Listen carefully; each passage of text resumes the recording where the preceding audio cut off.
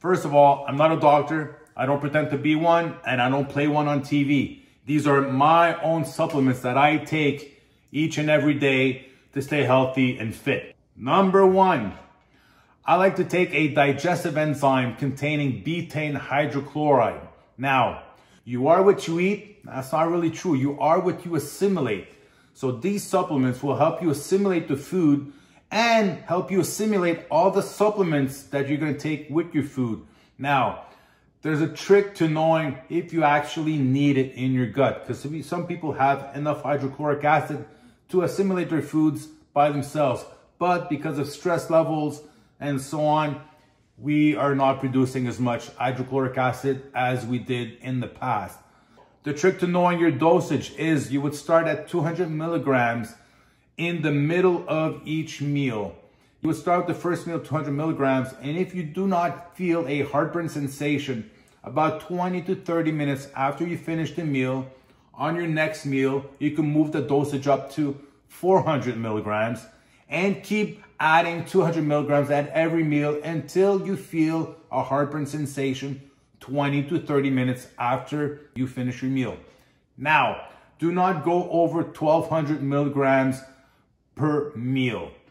If you are at 1200 milligrams per meal and you do not get a heartburn sensation 20 to 30 minutes after your meal, you have the insurance that you are not producing enough hydrochloric acid and that it would be a really great idea if you did increase it by supplementing with a betaine hydrochloride supplement. So at 1200 milligrams per meal, no heartburn, you absolutely need it. If at a certain dosage you do get heartburn, you drop the dosage by 200 milligrams and that would be your dose that you would use at every meal. If that dose starts giving you heartburn after a while, you can drop another 200 milligrams until maybe one day you might not need it at all. So betaine hydrochloride makes you assimilate your food and your supplements. Number two on the list would be vitamin D3 along with K2. Now, you can get your vitamin D with the sun, but you would actually need to have about 70% of your skin exposed to the sun for at least half an hour. And know that if you put sunscreen on your skin, you will not absorb your vitamin D optimally. One way to do it is by using a supplement of vitamin D along with K2. The K2 helps in reversing the calcification of your arteries, so it's kind of a good idea to have it in there. Now, what it does it's fantastic to boost your immune system. Every cell of your body has receptors for vitamin D3. So it is one of your most important supplements to take. It is, I have heard in the past that the closer to the equator one lives, the lower the chances of cancer. And the way they figured that out is by the exposure of the sun. The closer you are to the equator, the more exposure to the sun, the less risk of cancer. Might be true, might be not something I heard through the grapevine. Now, you can do a 25 hydroxy vitamin D test to figure out what your correct posology should be. I've never used vitamin D and are not a lifeguard in the sun with 70% of your skin exposed to it, then I would start with maybe about five to 10,000 IUs for a little bit, maybe a couple months.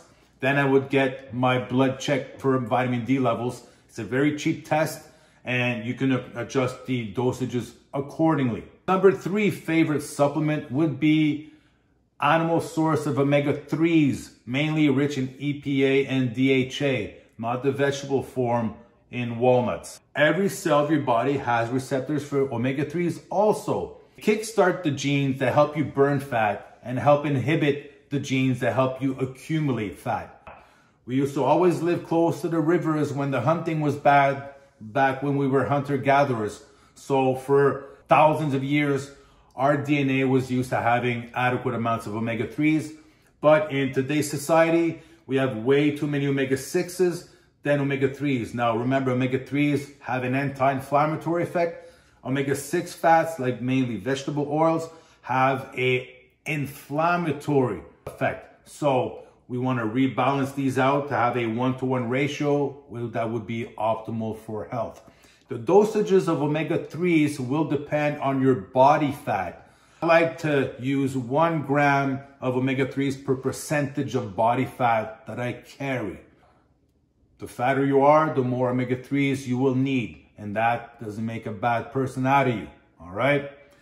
My number four favorite supplement is the mineral that almost everybody is deficient in, and I'm talking about magnesium. Now, magnesium helps to regulate your sleeping patterns, also helps your body detoxify cortisol, therefore lowering your stress hormone cortisol.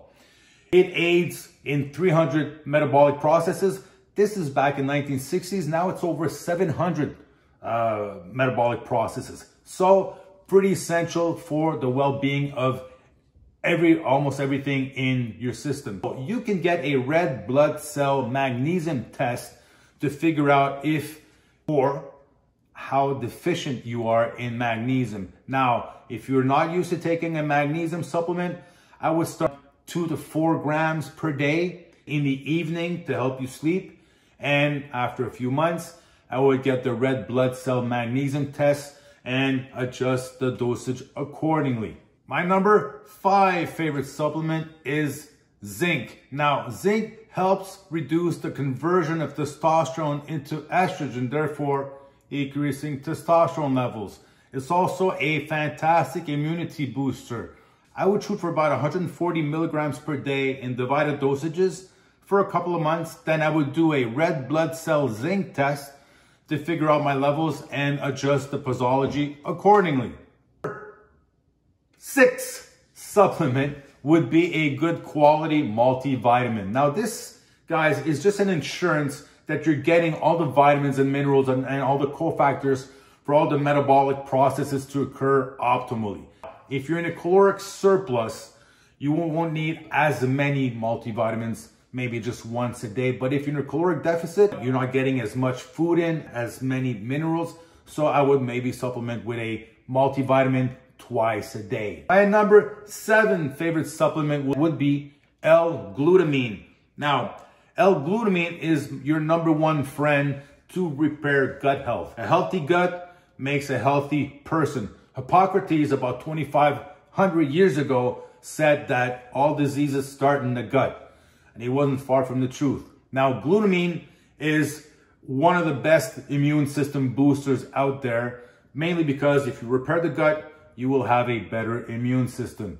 For everyday maintenance of glutamine, I would take 10 grams morning and evening. If you're in a very low carb diet or a ketogenic diet, you could use glutamine post workout to replenish glycogen stores. So this is a little trick to uh, fuel up your muscles with glycogen after a workout without actually taking in carbs. So you're staying low carb and getting the benefits of a low carb diet. My number eight supplement would be probiotics. Now, probiotics is a great immunity booster and inhibits the growth of the harmful bacteria in your gut. Now, you're keeping the good bacteria in check, you're keeping your whole gut health and microbiome in optimal health. If you are taking antibiotics or have taken antibiotics recently, make sure that you rebuild your gut health by using probiotics because the antibiotics kind of kill both the good and the bad bacteria in your gut. So you have to rebuild your gut after taking antibiotics. And I would shoot for 50 billion CFUs of probiotics from different strains. My number nine supplement is what I call my anti-aging supplements is trans-resveratrol. Now, whenever they say that drinking red wine is great for your health, it is because of the resveratrol in red wine. But to get a dosage of resveratrol that is significant for health reasons, you would probably have to drink about 12 bottles of red wine to yourself every day. Now that would cause probably other problems. It's best to supplement. Transresveratrol, one of your best anti-aging supplements, it helps to inhibit the conversion of testosterone into estrogen, is a pretty decent antioxidant, but great for longevity. I would shoot for about one gram a day of resveratrol.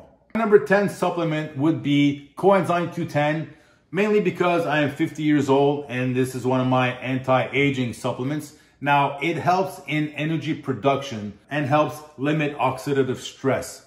I would shoot for about 200 milligrams per day of coenzyme Q10. Now for my bonus. If ever I start feeling sick, you got to catch it really, really early. So this is what I do when I start feeling sick. I go for a whopping huge dose of vitamin D3 and I aim for about 100,000 IUs one shot. I wouldn't use vitamin D3 for the rest of the week, but that big whopping dose will help my immunity uh, get stronger. Would also use 10 grams of L-glutamine every waking hour the first day I'm starting to get symptoms of a cold or whatnot.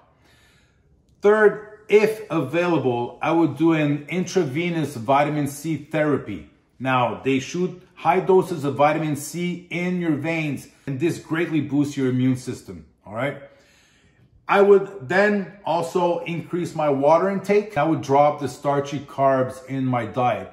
Or I would eat resistant starches. Now, resistant starches are mainly, as an example, potatoes or rice that have been cooked and have been cooled down in the fridge for about 12 hours. The starch converts into what we call resistant starch, and this is great food for your gut bacteria, making your gut bacteria very, very happy. Whenever I start feeling sick and I catch it early, I do this and I, within a day, I'm good to go. The next day, it's gone, history, and I'm back to my normal self. So these are my top 10 supplements subscribe, comment down below what your supplements are in your own arsenal of supplements. Seize the day, my friends.